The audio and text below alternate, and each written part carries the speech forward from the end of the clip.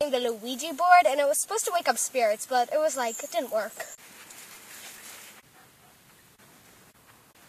We never have weakened the dead.